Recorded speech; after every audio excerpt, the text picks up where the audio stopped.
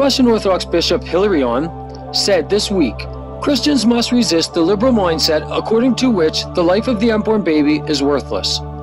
Asked his opinion on President Joe Biden's support for abortion, the bishop stated that a person cannot call himself a Catholic and at the same time violate and call for the violation of the fundamental norms of Christian morality. When they talk about the Catholic Biden, I always want to ask the question what in fact is Biden's Catholicism? The bishop said on Russian television. The Catholic Church is against abortion, and Mr. Biden is for it. Bishop Hilarion, the chairman of the Department of External Church Relations, noted that Christian teaching resists the reigning liberal ideology regarding human life. The Roman Catholic Church, like the Orthodox Church, opposes abortion as such. He said when asked about the Texas heartbeat law, if in one of the American states there is still a law that somehow protects the rights of the unborn babies, then the Catholic Church, like the Orthodox Church, only welcomes the preservation of this law. But the American administration is now trying to fit all states in one standard, which is guided by liberal norms, he continued.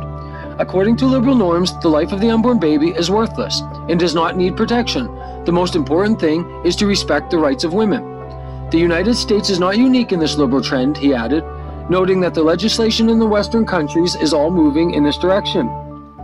The Catholic Church in the West, including the United States, the Orthodox Church, and many Protestants, stand up to protect unborn babies, saying that abortion is murder, and everyone, including those who have not yet been born, has a fundamental right, the right to life, Hilarion declared.